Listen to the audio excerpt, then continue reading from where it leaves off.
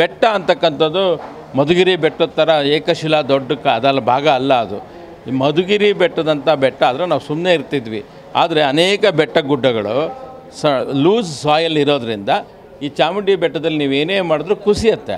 ಈಗ ರಸ್ತೆ ಮಾಡಿದ್ರಿಂದ ಕುಸಿತಾ ಇದೆ. ಆ ರಸ್ತೆ ಭಾಗವನ್ನು ಉಳಿಸೋದಕ್ಕೆ ಎಷ್ಟು ಪ್ರಯತ್ನ ಮಾಡ್ತಿದ್ರು ಎರಡು ವರ್ಷದಿಂದ ಸರಿಯಾಗಿ ಮಾಡೋಕ್ಕಾಗ್ತಾ ಇಲ್ಲ. ಅಂಥ ಬೆಟ್ಟದಲ್ಲಿ ಪ್ರಸಾದದ ಹೆಸರಿನಲ್ಲಿ ಅಭಿವೃದ್ಧಿ ಮಾಡಿ ಪ್ರವಾಸಿ ಕೇಂದ್ರವಾಗಿ ಮಾಡೋದು ನಮಗಿಷ್ಟ ಇಲ್ಲ ಸರ್. ಅಷ್ಟೇ, ನಾವು ಅದನ್ನು ಧಾರ್ಮಿಕ ಕೇಂದ್ರವಾಗಿ ಉಳಿಬೇಕು.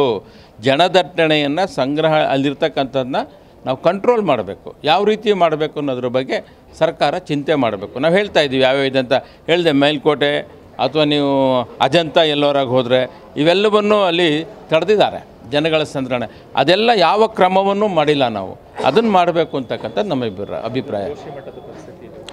ಜೋಶಿ ಮಠ ನೋಡಿ, ಅಭಿವೃದ್ಧಿ ಮಾಡ್ತೀವಿ ಮಾಡ್ತೀವಿ ಅಂತ ಹೇಳಿ ಏಕಾಏಕಿ ಕುಸಿಯಕ್ಕೆ ಶುರುವಾಗಿದೆ. ಶಿವಲಿಂಗನೂ ಒಡೆದೋಗಿದೆ ಅಲ್ಲಿ.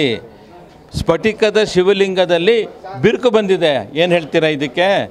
ಇದು ನೇಚರು ತಾನೇ ತಾನಾಗಿ ತನ್ನನ್ನು ಸಂರಕ್ಷಣೆ ಮಾಡ್ಕೊಳ್ಳೋ ಸಂದರ್ಭ ಬರ್ದಂಗೆ ನಾವು ನೋಡ್ಕೋಬೇಕು. ಅಷ್ಟೇ ಸರ್.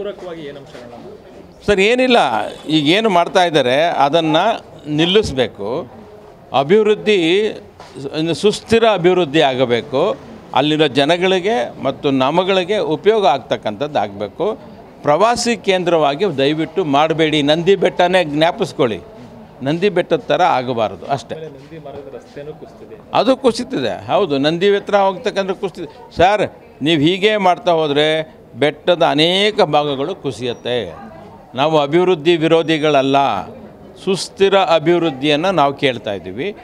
ಜನಕ್ಕೆ ಉಪಯೋಗ ಆಗೋ ಥರ ಮಾಡಿ ಹಣ ಇದೆ ಅಂತ ಹೇಗೆ ಬೇಕೋ ಹಾಗೆ ಅಭಿವೃದ್ಧಿ ಮಾಡೋದಲ್ಲ. ಒಂದು ನಿಯಮಬದ್ಧವಾಗಿ ಪಾರಂಪರಿಕ ಪ್ರದೇಶ ನಾನು ಆಗಲೇ ಹೇಳಿದೆ. ಅದು ಸ್ವಾಭಾವಿಕದ ಪರಂಪರೆ ಧಾರ್ಮಿಕ ಪರಂಪರೆ ಸಾಂಸ್ಕೃತಿಕ ಪರಂಪರೆ ಐತಿಹಾಸಿಕ ಪರಂಪರೆ ಉಳ್ಳ ಜಾಗ. ಇಂಥ ಜಾಗವನ್ನು ಉಳಿಸ್ಕೋಬೇಕಾಗಿರೋದು ನಮ್ಮೆಲ್ಲರ ಕರ್ತವ್ಯ. ಡೆಫಿನೆಟ್ಲಿ ಮೈಸೂರು ಈ ಒಂದು ನಾನೇನು ತೋರಿಸ್ದೆ ಈ ರೂಲ್ಸ್ ಮಾಡಿರೋದು ಡಿಸ್ಟ್ರಿಕ್ಟ್ ವೈಸ್ ಬರೀ ಅಲ್ಲ ಇಡೀ ರಾಜ್ಯಕ್ಕೆ ಅಪ್ಲೈ ಇದು. ರಾಜ್ಯದಲ್ಲಿ ಅಪ್ಲೈ ಆದಮೇಲೆ ಚಾಮುಂಡಿ ಬೆಟ್ಟ ರಾಜ್ಯ ಬಿಟ್ಟು ಹೊರಗಿಲ್ಲ. ಯಾರೋ ಚೆನ್ನೈನವರು ಬಂದು ಅಭಿವೃದ್ಧಿ ಮಾಡೋದಕ್ಕೂ ನಮ್ಮಲ್ಲಿ ಇರೋರನ್ನ ಬಳಸ್ಕೊಂಡು ಅಭಿವೃದ್ಧಿ ಮಾಡೋದಕ್ಕೂ ಭಾಳ ವ್ಯತ್ಯಾಸ ಇದೆ. ದೇವೇಕೆರೆ ಕಾಮಗಾರಿಯನ್ನು ಯಶಸ್ವಿನಿ ಶರ್ಮಾ ಅವರು ಕೊಟ್ಟಿರುವ ವರದಿಯಲ್ಲಿ ನೀರು ನಿಲ್ಲುವಂತೆ ಮಾಡುವ ಕೆಲಸಕ್ಕೆ ಅವರು ಹಾಂ, ಹೇಳ್ಕೊಟ್ಟಿದ್ದಾರೆ. ಈಗ. ಈಗ ಹಾಗೆ ಆಗ್ತಾಯಿತ್ತು ನೀರು ನಿಲ್ತಾ ಇರಲಿಲ್ಲ.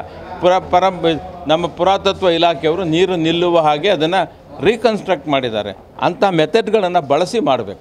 ಅದು ನಮ್ಮ ಅಭಿಪ್ರಾಯ. ಆಕ್ಷೇಪ ಬಂದಿದೆ ಅಂತ ಪತ್ರಿಕೆಗಳಲ್ಲಿ ನೋಡಿದೆ. ನಾನು ಅವ್ರ ಹತ್ರ ಮಾತಾಡಿಲ್ಲ ಆ ವಿಷಯದಲ್ಲಿ. ಬಟ್ ಅದಾದರೆ ಅವರಿಂದ ಹೇಳಿಸ್ಕೋಬೇಕಾ ನಾವು? ಅವ್ರಿಗೆ ಮಾತ್ರ ಮೈಸೂರಲ್ಲ, ನಮಗೂ ಮೈಸೂರು, ಮಹಾರಾಜರಿಗೆ ಸಂಬಂಧಪಟ್ಟಂಥ ಮೈಸೂರನ್ನು ಕಾಪಾಡೋ ಕೆಲಸ ನಾವು ಮಾಡಬೇಕು ಅಷ್ಟೇ.